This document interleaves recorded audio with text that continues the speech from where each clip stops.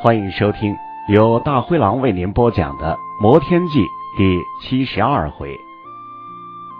刚刚站在第五杆帆旗下的高冲见此情形，脸色一沉；雷震和嘉兰二人见此，则是神色微动。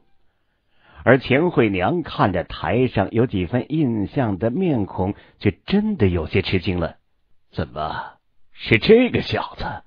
龟师弟啊！我没记错的话，这位白师侄虽然说击败过九窍山的一位天才弟子，但应该只是三灵脉之身吧？现在是什么修为了呀？玉台上的莽鬼宗掌门看到此景，也是微微一愣，回头冲儒生问了一句：“呃，我也不太清楚。我和朱师弟几人呢，前段时间呢，一直在为那块深海寒光铁忙碌，并没有多注意其他弟子的修为。”在上次小比的时候，他似乎还是中期领徒。归如泉自然更加吃惊。他虽然说觉得柳明会参加大比，但是也绝对没有想到真会直接挑战前十的核心弟子。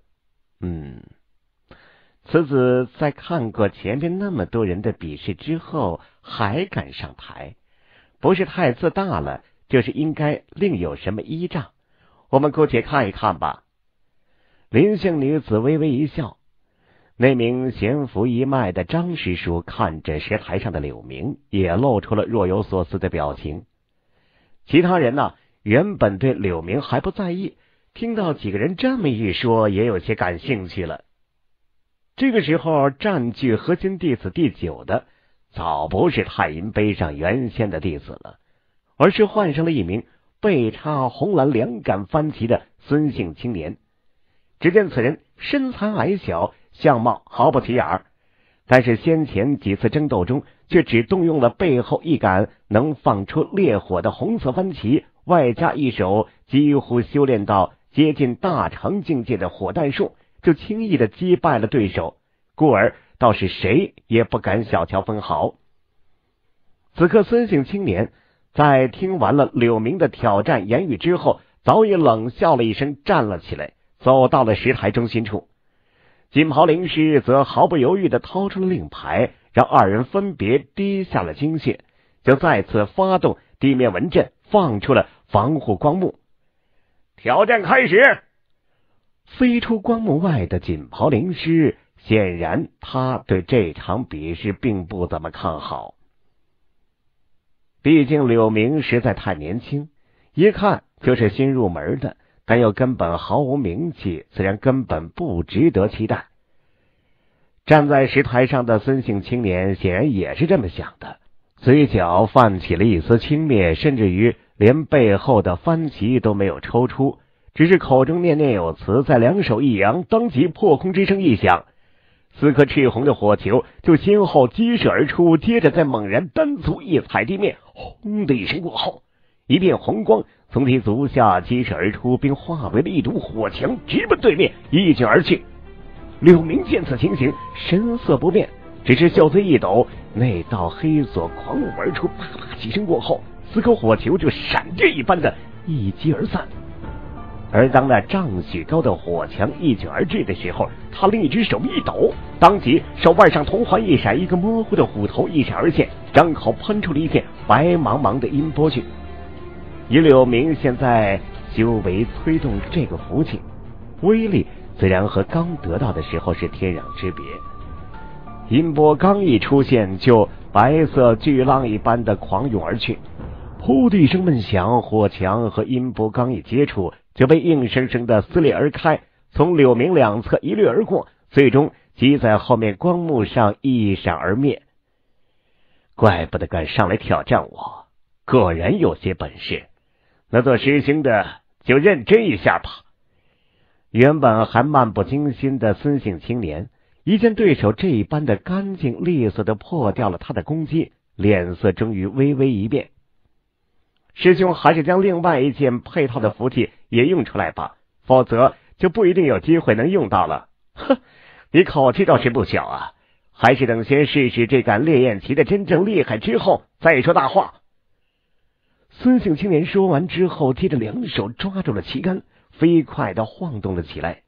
刹那之间，赤红的帆旗上一缕缕火焰浮现而出，并且是越来越多。片刻的功夫，这些火焰就交织而起，隐约之间化为一团直径数尺的赤红火，在后面光幕上一闪而灭。怪不得敢上来挑战我，果然有些本事。那做师兄的就认真一下吧。原本还漫不经心的孙姓青年，一见对手这一般的干净利索的破掉了他的攻击，脸色终于微微一变。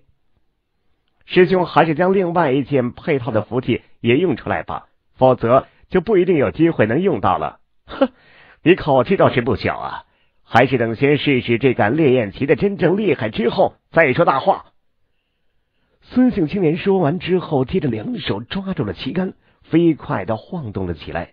刹那之间，赤红的帆旗上一缕缕火焰浮现而出，并且是越来越多。片刻的功夫，这些火焰就交织而起，隐约之间化为了一团直径数尺的赤红火云。柳明目睹此景，则双目微微一眯，蓦然之间两手一掐诀，同样的口中念动法诀起来。身前顿时有点点青光浮现而出。去！孙姓青年一见此景，微微一愣，可马上一声大吼，双臂狠狠一挥，帆旗上的赤红火云当即一声呼啸飞出，直奔对面滚滚压了过去。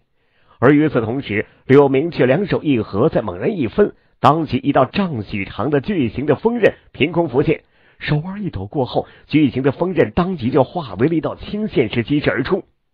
看似惊人的火云呐，在青线一闪过后，就从中间被硬生生的一展而开。孙姓青年更是在听到耳中报名之声一响过后，巨型锋刃就一个模糊的到了其近前处，速度之快根本不是他能想象的，仿佛下一刻就能把他同样一斩两半。不，青年魂飞魄散，只来得及拼命的将手中的番旗猛然在身前一横，一声脆响。赤红的番旗仿佛枯草一般，被巨大的锋刃一斩两断。眼瞅着再一闪动，就真的要将青年一切而开。可就在这个时候，那名负责主持大比的锦袍灵师却早已大惊，将袖中一枚早已准备好的蓝色符箓一捏而碎，砰的一声闷响，一面淡蓝色的光盾凭空在青年身前要害处浮现而出。和巨型锋刃狠狠一撞，当即四散粉碎而开。一小部分锋刃碎片击射之下，仍然暴雨般的射入到了青年半边胸膛上。他一声惨叫，当即一手捂住了半边身躯，直接倒了下去，鲜血从手指间瞬间狂涌而出。这个时候，柳明却面无表情的两手再掐诀，一枚枚锋刃又瞬间凝聚而出。眼看着就要再冲对面一放而出，住手！你已经赢了，无需再动手了。空中一声低喝，柳明只觉得两耳嗡的一声轰响，原本凝聚的锋刃竟然瞬间溃散而灭。他一惊之下，自然就停止了施法。与此同时呢，光幕内波动一现，锦袍灵师一下子就出现在了擂台之上，转头重新打量了柳明两眼。你小小年纪，竟然连风刃术的术印都凝结出来了，真是不错。不过嘛，出手太狠辣了，若不是我出手及时，恐怕这小子真的要被你一斩两截了。没有办法，此术一旦施展，弟子也没有办法控制的。柳明很是镇定，不用怕，我可没有说你做的不对啊。真到生死试炼的时候，这种做法才是最准确的选择。生死相搏之时，原本就是生死一线，哪儿能存留守之心呢？柳明闻言一怔，随之一笑。金袍大汉一个晃动，出现在了孙姓青年旁边，打量其鲜血狂流不止的身躯，眉头微微一皱，袖子一抖。一道青色的符箓飞出，化为点点青光，没入到了青年身躯中。孙姓青年的身躯抽搐了几下过后，胸前筛子一般的血洞在淡淡青光中飞快的收敛愈合，竟顷刻之间停止了流血。多谢师叔相救。下去吧，你流血过多，数日之内都不可再与人斗法。是。柳明来到了第九杆幡旗下，神色平静的盘膝坐下。高空玉台之上，看到了刚才一幕的一干灵师，却骚动了起来。风刃术大圆满，凝结出了树印，真是不可思议的事情啊！灵途中三十岁以下的弟子中，能做到此事的，好像只有杨田和田惠娘这丫头吧。没想到还有第三名弟子也能做到此事。这位白师侄真的是三灵脉之体？不可能的吧？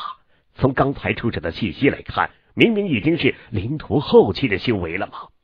鬼师弟啊，还真是丝毫口风不漏，竟然还隐藏了九阴一脉，还有这么一名天才弟子的消息啊！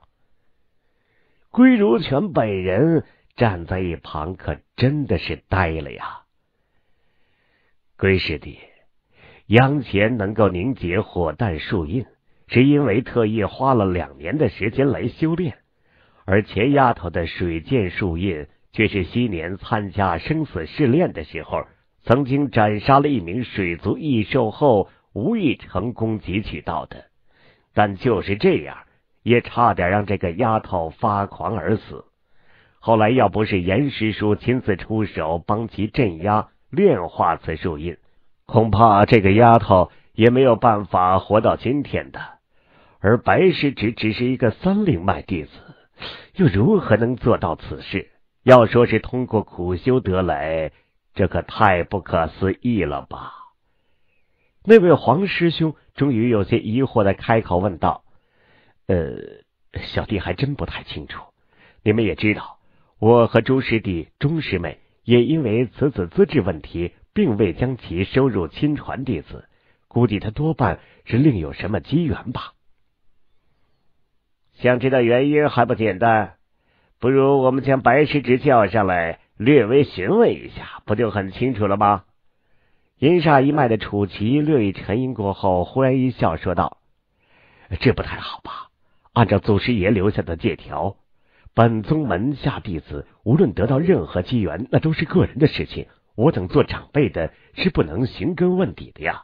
哎，贵师弟多心了，这可不是什么寻根问底。要是白师侄只是修为大进，或者说得到什么灵气、福气等东西，我等自然不会过问。但这树印的凝结，可实在是太奇怪了一些。不问清楚的话，万一其中另有什么古怪，恐怕对整个宗门也不太好吧。再说，先前掌门师兄不是也将高冲凝结罡气之事揭示的一清二楚了吗？归如泉听到这儿，脸色有些难看了。其他灵师听了这些话，则一阵轻轻的窃窃私语，其中固然有赞同之人，但也有不以为然之人。芒鬼宗掌门见此情形，眉头微皱，过了好一会儿之后，才终于开口了。白师侄修为已经到了灵徒后期，自然不可能这几年全将时间花在修炼法术上。如此的话，一些简单的询问还是必要的啊！当然了，龟师弟呢，你也不用紧张，这也不是什么质问，只是我们做长辈的一些简单问话而已。即使白师侄不愿意回答，也不会受到任何处罚的。归如泉见此情形。只得捏着鼻子答应了。当然，他的心中何尝不是对柳明能修成树印，同样有一丝好奇之心呢？于是，当第一擂台上又出现了下一名挑战者的时候，柳明耳中却传来了归如泉的传音之声。他心念飞快几转，就不动声色的从石台上站起，并一掐诀，腾空而起，直奔玉台之上一飞而去。其他弟子见此情形，虽然是大为惊讶，倒是锦袍灵师似乎早就得到了另外的嘱咐，对此根本视若无睹。弟子白冲天参见归师、掌门和诸位师叔师伯。从天呐，你起身吧，你这次做的不错，竟然能进入大比前十之列。若是能够持续保持的话，我和你朱师叔他们一定会事后重赏。呃，现在嘛是掌门师伯和其他师叔们有些事想要问，你尽量回答。若是实在不方便回答的，也不需勉强。是，弟子一定知无不言。白师侄，嗯，果然一表人才啊！不用紧张啊，我们将你叫来，只是有两件事情想要问上一问。芒鬼宗掌门一脸微笑，不知掌门和诸位师叔想询问何事？白师侄啊，你现在是灵徒后期，这个不假吧？是。弟子的确在前不久刚刚进阶到后期境界，嗯，这以你三灵脉之身，这么短的时间之内修炼到这个境界，的确是非常不容易了。这么说来，你平常修炼的法力应该是很刻苦的，花费了不少的时间吧？是，弟子这几年大半的时间都用来修炼主修功法的。那你平常修炼锋刃术？大概花费了多少时间呢？弟子没有用太多的时间，只是每天花费两个时辰来修炼法术而已。从时指刚才的比试看，应该将锋刃术修炼到了大成，凝结出了树印了吧？对，弟子的确凝结出了锋刃术的树印。既然修炼法术所需时间不多，那你是如何做到此事的呢？弟子不太明白掌门师伯的意思，还请明示。呃，白师侄啊，不要告诉我你只是每天花费两个时辰修炼风刃术，就这么自然而然的凝结出了树印了吧？那那弟子的确就是这样凝结出树印的。每天只花两个时辰，几年之内就能修炼出一枚树印来。若真是这样的话，似乎还真有一种可能。雷姓大汉摸了摸下巴，目中突然泛出了一丝奇光。啊，什么可能啊？其他人也惊讶的望了过去。诸位莫非忘记了传闻当中的那几种无法查证的灵体了？似乎有一种啊，正好能够做到此事。你说的莫非是那十分神秘的天慧灵体？不错，这天慧灵体啊。据说拥有不可思议的聪慧之力，无论此灵体主人参悟功法或者修炼法术，那都远比常人快成数倍甚至十几倍啊！不过可惜啊，此灵体呢，因为增幅的全是灵慧之力，故而根本没有办法用任何方法检查出来。但是此灵体又是货真价实存在的，以前的天月宗还是烽火门。都曾经出现过有类似灵体飞怪胎，虽然说法力平平，但是在修炼法术之道上可远非常人可比啊！并且根据修炼快慢，可分为十会、百会甚至千会之分。嗯，雷师兄这么一说，我也想起啊，的确有这么一个罕见的灵体了。莫非白师侄就是这种神秘灵体不成吗？可弟子除了修炼法术上有些成就，在参悟功法上并不见多快啊！嘿嘿嘿，天慧之体呀，原本就是神秘至极的灵体，和传闻略微有些差异，那也是正常的。呃，或者你的不是天慧灵体，而是其类似的某种未知灵体。这也不是不可能的事情吗？啊，黄师兄所说极是，看来这个孩子真可能是天慧灵体，或者说某种类似的其他灵体。这样的话，一切就都说得通了。很好，白师姐，你可以下去了，继续参加后面的大比了。欲知后事如何，欢迎各位继续关注收听《魔天记》。第七十三回。